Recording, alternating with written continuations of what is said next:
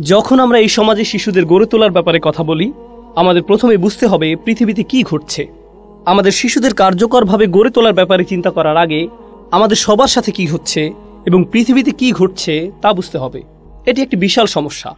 দ্বিতীয় বড় সমস্যা হচ্ছে সফলতা বলতে কি বোঝায়? আপনার মূল্য কি? আপনি কিসের যোগ্য? বর্তমান সময়ে আমাদের শিশুদের এমনভাবে গড়ে তোলা হচ্ছে যে তারা ভাবে এই সমস্ত পণ্যই তাদের যোগ্যতার মাপকাঠি। কাপড়ের ব্র্যান্ড, ফ্ল্যাটের ধরন, যেরকম গাড়িতে করে আপনার বাবা মা আপনাকে স্কুলে দিয়ে আসে, আপনি যে ব্র্যান্ডের ব্যাগ নিয়ে ঘুরছেন, এই সমস্ত বিষয়।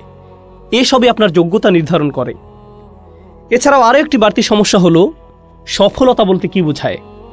মুসলিম বিশ্বের একটা বড় অংশের কাছে, এমনকি বিশ, ত্রিশ বা চল্লিশ বছর আগেও সফলতার ধরন হতে পারে আপনাদের কেউ শিক্ষার ভালো সুযোগ পাননি, অথবা আপনাদের বাবা মা শিক্ষার ভালো সুযোগ পাননি এবং তারা সকল চেষ্টা দিয়ে আপনাকে ভালো শিক্ষা পাবার সুযোগ করে দিয়েছেন। আপনি জীবনে তা থেকে শিক্ষা নিয়েছেন এবং আপনি তখন ভাবলেন, ভালো হয় আমার সন্তানেরা যদি উচ্চমানের শিক্ষার সুযোগ পায়। এর মানে যদি হয় তাদেরকে প্রাইভেট স্কুলে যেতে হবে, এর মানে যদি হয় আমাদেরকে একটি ঘর বা ফ্ল্যাট ভাড়া নিতে হবে এবং কষ্ট করে থাকতে হবে যাতে তারা শিক্ষার ভালো সুযোগ পায়, তবে আমরা তাই করব।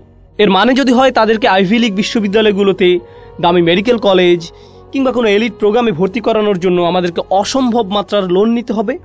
তবে আমরা তাই করব। কেন? কারণ সফলতার সবচেয়ে গুরুত্বপূর্ণ দিক কোনটি? আপনার শিক্ষা। আর সন্তানেরা, তাদেরকে তাদের মা বাবারা বারবার বারবার বারবার বলেছেন, তোমার শিক্ষা গ্রহণ করতে হবে। যদি ভালো মানের শিক্ষা গ্রহণ না করো, তবে তুমি জীবনে ব্যর্থ।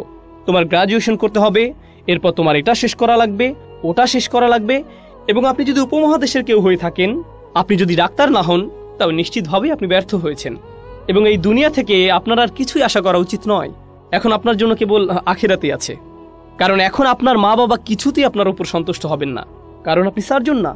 এমনকি তারা বলবেন, ডেন্টিস্ট হয়েও না। ডেন্টিস্ট হওয়াটা অপমানজনক। এটি নিয়ে এমনকি মাথা ঘামানোরও দরকার নেই।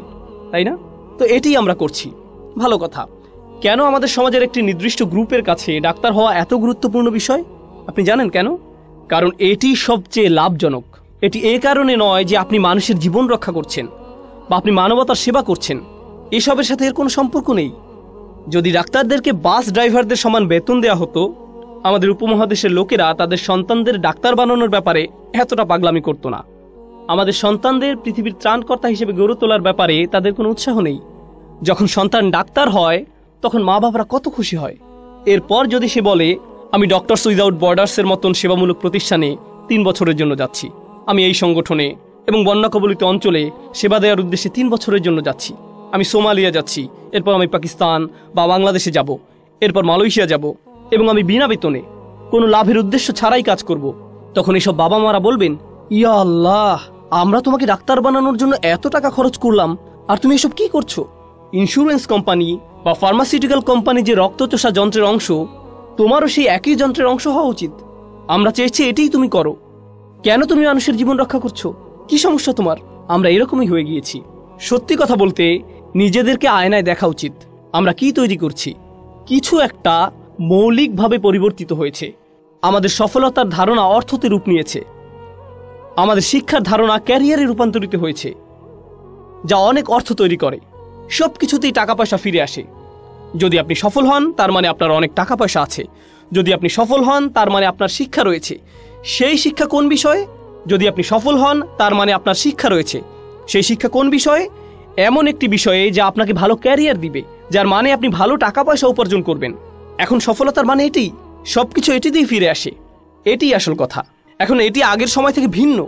আগেকার যুগ থেকে এটি আলাদা। আগের যুগে শিক্ষা গ্রহণ করা মানে নিজেকে বোঝা। নিজের চারপাশের দুনিয়াকে বোঝা। এবং দুনিয়াকে একটি ভালো জায়গায় পরিণত করার জন্য অবদান রাখা। আর দুনিয়াকে ভালো স্থান হিসেবে গড়ে তোলার জন্য মাঝে মধ্যে আপনাকে ইতিহাস অধ্যয়ন করতে হবে। কখনো আপনাকে রাষ্ট্রবিজ্ঞান নিয়ে পড়তে হবে।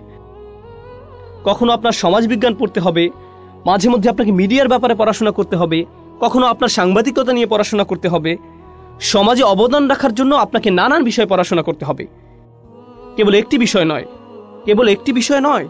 যে কোনো মাপকাঠিতেই যুক্তরাষ্ট্রের সবচেয়ে সফল কমিউনিটিগুলো তারাই, যারা নিজেদের সন্তানকে কেবল একটি বিষয় সীমাবদ্ধ রাখেনি। আমার এক বন্ধু আমাকে বলে, যদি স্টিফেন স্পিলবার্গ পাকিস্তানের হতো, তবে সে ডাক্তার হতো। ঠিক, তিনি একজন ডাক্তার হতেন। কেন? কারণ আমরা এমন। তুমি ফিল্ম স্কুলে যাও। মানে কি সমস্যা তোমার? তুমি কি ডাক্তারিতে খারাপ করেছ? তুমি জানো তুমি এখন তোমার মা বাবার ব্লাড প্রেশার বাড়িয়ে দিবে?